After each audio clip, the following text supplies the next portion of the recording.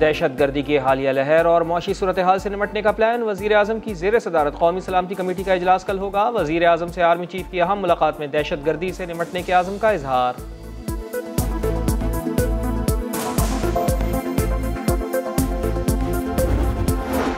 कौमी सलामती कमेटी के इजलास में बनू ऑपरेशन की मंजूरी दी जाएगी। वजी दाखिला राना सनाउल्ला कहते हैं दहशत गर्दी के वाकत पर सियासत की वजह से मामला खराब हुए।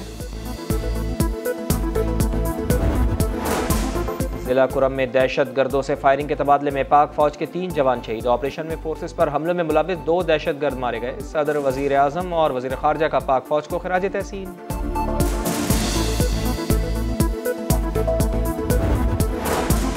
स्पीकर कौमी असम्बली से मुलाकात में पाकिस्तान तहरीक इंसाफ का तमाम इस्तीफ़ों की एक साथ मंजूरी पर इसरार। स्पीकर का दो टोक इनकार।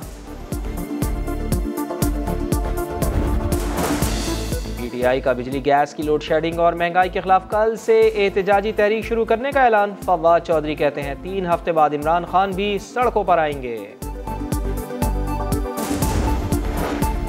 सरकारी हेलीकॉप्टर खैबर पख्तूनख्वा हुकूमत और गवर्नर में ठन गई। सूबाई हुकूमत का गवर्नर को हेलीकॉप्टर देने से इनकार।